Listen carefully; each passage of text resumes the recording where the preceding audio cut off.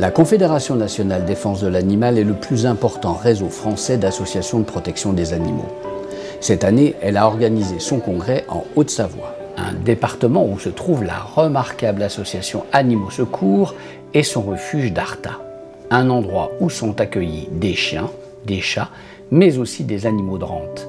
Celle qui a voulu et réussi à faire construire ce refuge d'un hectare est une personne hors norme, Janine Vogler, qui a été honorée en recevant la médaille Grammont par la Confédération.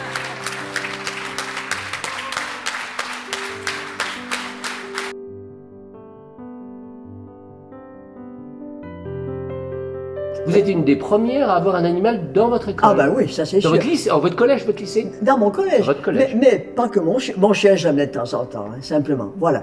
Mais nous amenions, donc nous avions des réunions tous les mardis après-midi, les mercredis.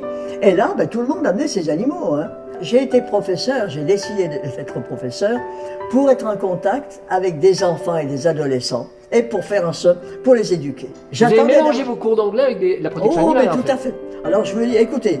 C'est Je- je- Oui, oui, tout à fait. Je raconte, je raconte souvent d'anciens élèves, je ne veux pas me vanter, hein, parce que j'étais pas un professeur formidable. Mais Oui, il m'aimait bien. dit, ouais. Il m'aimait bien. Et puis, les amis, des, les jeunes qui aimaient les animaux immédiatement, et c'était bien meilleur en anglais. Hein. Ils voulaient me faire plaisir, ils travaillaient deux fois plus parce que j'aimais les animaux.